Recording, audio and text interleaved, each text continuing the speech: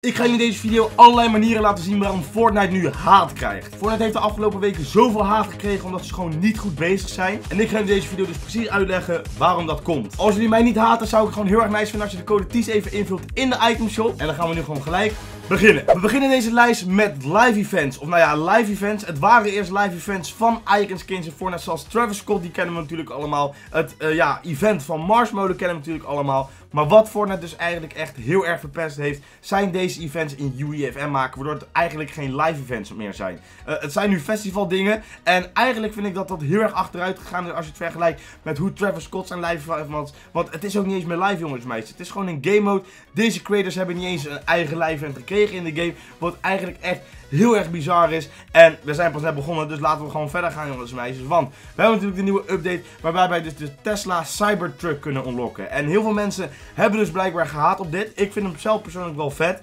Maar ik snap ook wel de haat vanuit sommige mensen. En dat komt misschien omdat ze persoonlijk Elon Musk haten. Dat zou natuurlijk kunnen. Maar uh, het zou natuurlijk ook kunnen omdat we eigenlijk misschien deze variant in de items op terug gaan zien. Fortnite heeft natuurlijk nu gratis gemaakt. Want ik denk dat Fortnite ook wel weet dat weinig mensen hier geld voor gaan betalen. Maar alsnog jongens en meisjes. Laten we nu doorgaan naar ja, chapter 5's meest gefaalde ding. En dat is de trein.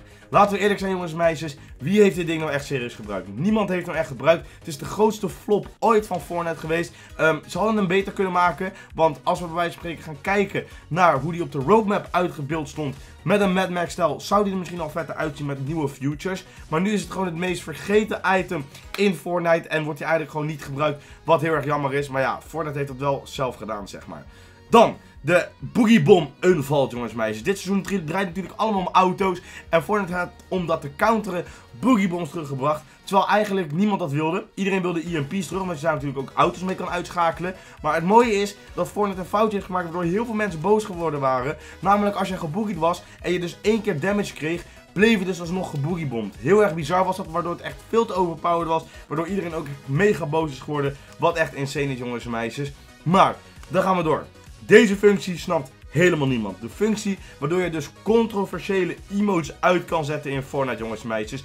Waarom heeft Epic Games dit toegevoegd? Waarom zouden we Take the niet mogen zien? Waarom zou je niet uitgelachen mogen worden? Jullie hebben die emotes zelf in de items opgebracht. En vervolgens gooien jullie deze ja, setting erin. Waardoor je geen Take the meer kan zien. Ik vind het echt een hele grote L van Fortnite, jongens en meisjes. Mijn persoonlijke mening. Ik ben ook benieuwd wat jullie daarvan vinden. Maar we zijn nog niet klaar. Want als we namelijk gaan kijken naar de volgende icon skin in Fortnite die geleakt is, is dat Carol G.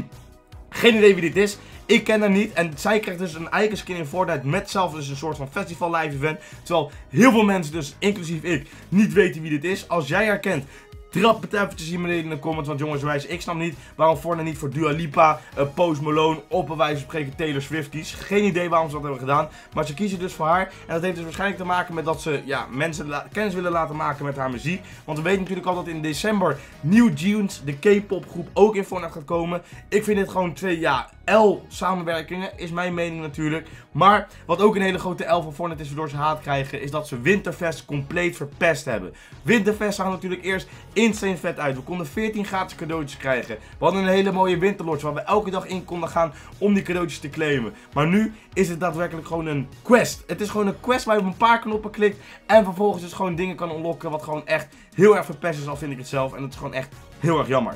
Fortnite heeft ook de Battle Pass verpest. En dat heeft voornamelijk te maken met de V-Bucks. Want eerst kon je natuurlijk je V-Bucks allemaal terugverdienen. Kreeg je meer dan dat je uitgaf, zodat je sowieso de Battle Pass opnieuw kon kopen. Um, alleen Fortnite heeft dus iets heel erg smerigs gedaan. Want eerst kon je dat dus bij level 100 halen. Maar nu zitten al die Battle Pass uh, ja, V-Bucks zeg maar, in de bonus reward van de Battle Pass heel erg smerig is dan in plaats van level 100 moet je nu 100, level 130 worden om dus al die V-Bucks te krijgen. Waardoor dus ja, eigenlijk gefixt wordt om veel meer Fortnite te spelen, zodat je dat misschien net niet kan of net niet wil.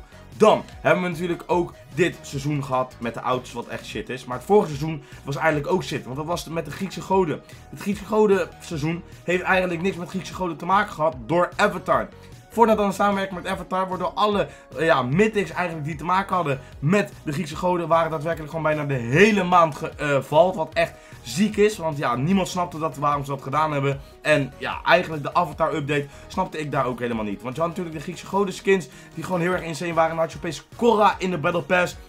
Grootste L. Echt, Fortnite heeft echt een L gepakt. Omdat ze toen allemaal, ja, Griekse goden natuurlijk ook in de items op hebben gebracht. Ze hebben dit vaker goed gedaan. Dus ik snap niet waarom Fortnite dit gewoon, ja, opeens zo slecht heeft gedaan. Ik snap het gewoon oprecht niet. Maar Hetzelfde wat ik niet snap, is dat ze de rarities weggehaald hebben van skins in Fortnite. Je kon daardoor skins makkelijk vinden. Het zag er nice uit, want je wist precies voor welke skin je geld betaald had en welke wat minder waard was. En nu is daadwerkelijk alles behalve Marvel en die aparte series allemaal één rarity geworden. Wat ik gewoon echt heel erg jammer vind. En ja, ik vind dat Fortnite dit eigenlijk gewoon weer terug moet veranderen, al zeg ik het zelf.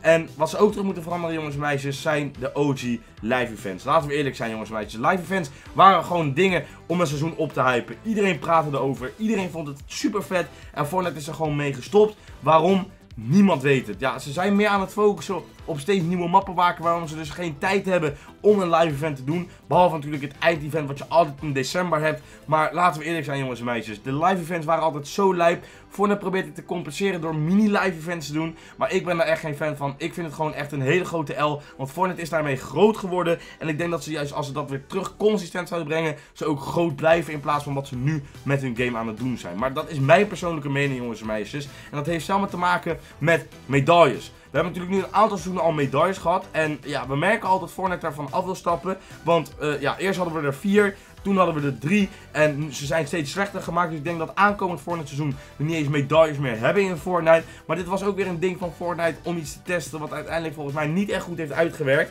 En ja, we gaan natuurlijk nog eventjes terug naar het Mythic seizoen van de Griekse goden. Want ja, we hebben er nog een paar in de map zitten natuurlijk. Alleen ze droppen nu niks meer wat te maken heeft met die items natuurlijk. Want ja, als we natuurlijk nu kijken, hebben we natuurlijk nog deze NPC zitten. Die dropt natuurlijk nu een uh, shotgun als het goed is. Maar voor de rest was dat ook gewoon jongens en meisjes. Verder kunnen we bijna niks meer van de Griekse goden terugvinden. En ik snap ook nog niet waarom die in de map zit, als ik heel eerlijk moet zijn. Maar hey, dat is mijn mening. Want zoals je kan zien, pakt hij alleen nog een shotgun op. Maar jongens en meisjes, ik ben nog steeds niet klaar.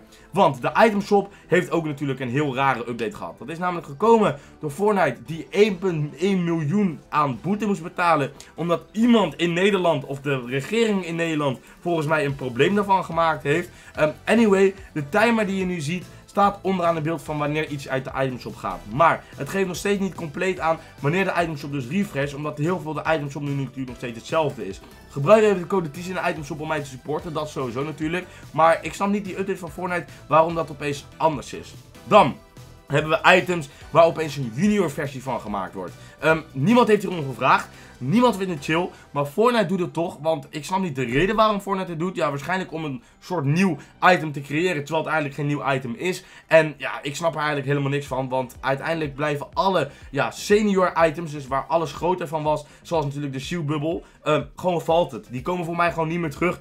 Reden weet ik niet. Als jullie ze weten, laat het weten in de comments. Ik snap het gewoon echt niet van Fortnite. Want het is gewoon echt heel erg zonde. En dit is ook een heel oud item. Ik weet niet of je die nog kan herinneren. Dit waren die inktvisvissen. Maar die deden zoveel damage. Dat was niet normaal jongens meisjes. Moet je kijken. Als je daarop schoot, deden ze gewoon damage door muren heen. Je kon mensen zoveel killen. Het is echt ongelooflijk dat dit überhaupt in Fortnite heeft gezeten. Daarom waren mensen ook heel erg veel boos. En waar mensen eigenlijk ook boos om waren. Maar wat wel logisch is, is dat Fortnite Storm Sickness toegevoegd heeft. Dit was gewoon nodig. Want sommige mensen konden een manier vinden om Unlimited te healen en winst te halen. En daarom heeft Fortnite de Storm Sickness toegebracht. Wat uiteindelijk wel een hele goede oplossing is om dit soort mensen tegen te gaan natuurlijk. Want ja, je kon vervolgens alleen maar vissen en vissen en vissen om een gratis win te halen.